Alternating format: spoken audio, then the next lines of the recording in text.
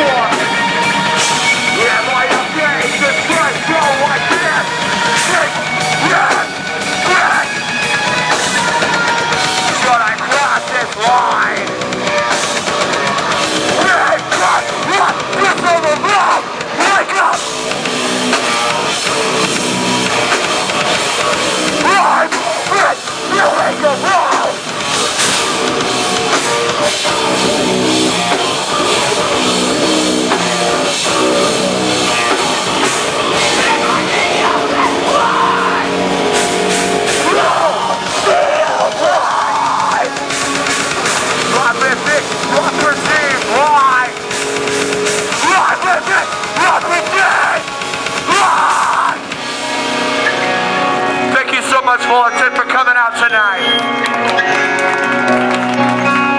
Toby Treats from Nashville, Tennessee, and let's have some fun.